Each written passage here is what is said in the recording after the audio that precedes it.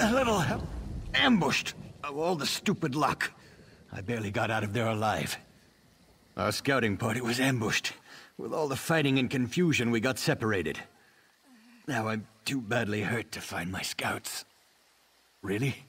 That would ease my mind. Curse these wounds, or I'd go along with you. The last time I saw my scouts, they were retreating toward the tower. They're raw recruits, and I'm worried about them. Send anyone you find to the base of the tower. I saw the other scouts run up the stairs toward the tower. Watch out.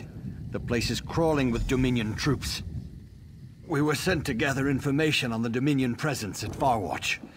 I can confirm that they're here in full force, and they certainly know how to fight. It's out of the way, and makes a great base of operations. They can signal their ships from the tower. Unless our luck changes quickly, they can use the tower to launch a full-scale invasion of Glenumbra. Didn't think I'd make it. I barely made it into hiding before more of those bastards showed up. But by the eight, it's good to see a friendly face. Yes, I can make it. I even have information to pass on to my commander, so the scouting mission won't be a complete failure. I thought I was done for. Thanks for finding me. Yes, I think so. But what about Cecile? She was ahead of us and I saw her get captured. They took her toward the camp on the beach. We can't leave without her. You arrived just in time. Not too badly. Luckily, you got here ahead of their interrogator.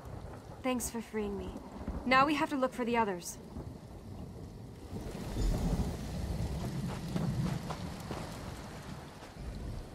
Good to see you again. I hate to think what would have happened to me if you hadn't come along. That we did, thanks to you. Now that we're all back together, we have a better chance to put an end to this Dominion incursion.